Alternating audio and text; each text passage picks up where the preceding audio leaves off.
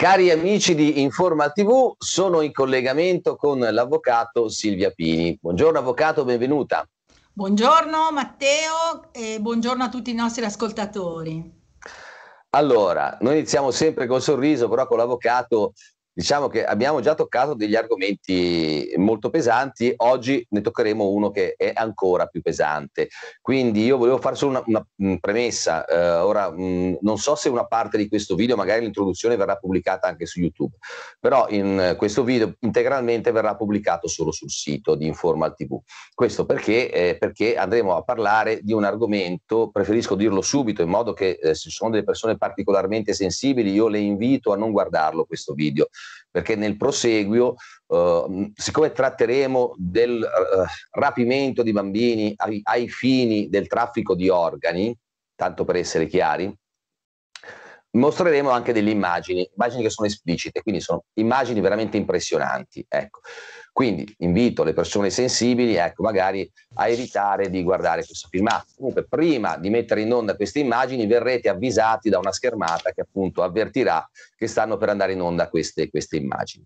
Prima di dare la, la parola all'avvocato che eh, è sicuramente più esperta di me in questo, in questo, argomento, motivo per cui ne parlo proprio con lei, faccio una piccola introduzione perché ehm, è un argomento talma, talmente lontano dal nostro vivere, dal nostro, dalla nostra vita quotidiana, da sembrare assurdo. Eh, purtroppo non lo è e le immagini che mostreremo sono molto esplicite in questo senso.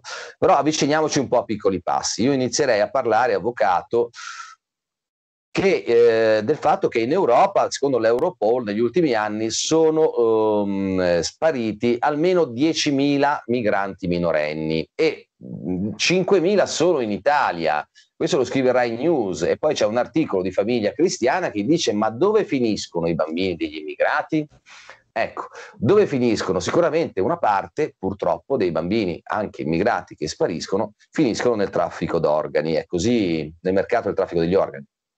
Certo, certo. Allora, innanzitutto eh, dell'argomento se ne parla pochissimo purtroppo, a livello mondiale eh, se ne parla pochissimo, meno ancora della pedofilia, nonostante sia un problema che esiste ed è, ed è estremamente allarmante ma anche eh, gravissimo, perché il traffico d'organi illegale è uno dei più, diciamo, tragici crimini che si possa commettere contro l'umanità. Ovviamente poi questo mercato riguarda eh, le persone giovani e quindi soprattutto i minorenni, perché? Perché è chiaro che gli organi eh, vanno a prenderli sulle persone giovani, non sulle persone di una certa età, i cui organi comunque è meglio non utilizzare.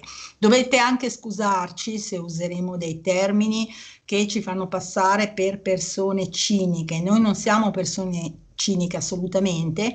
Io vi assicuro che per raccogliere i dati e organizzare questo video assieme a Matteo ho sofferto.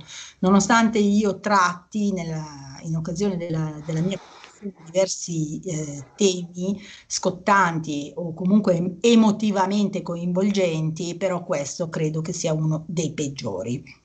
Innanzitutto questo traffico di organi illegale purtroppo fa parte del cosiddetto nuovo mercato globale e eh, viene chiamato in gergo anche mercato rosso degli organi, giusto per dare un'idea. Ed è eh, una, una, tematica che eh, riguarda, diciamo, da una parte il mondo dei ricchi e dall'altra il mondo dei poveri. Purtroppo il mondo dei poveri è la fonte di questo, è la fonte della materia prima, e cioè degli organi, mentre la parte ricca sono coloro che è la domanda, cioè coloro che hanno bisogno, chiedono questi organi e hanno soprattutto i mezzi, tantissimi soldi per pagarli, perché c'è un giro d'affari miliardario che ruota intorno a questo traffico d'organi ed è eh, anche comunque, cioè da, se da una parte abbiamo il mondo dei ricchi e dall'altro il mondo dei poveri, in mezzo abbiamo altri personaggi che partecipano a questo macabro teatro, che sono le organizzazioni criminali che fanno il lavoro sporco, e cioè sono coloro che rapiscono i minori e si occupano anche poi di smaltire i rifiuti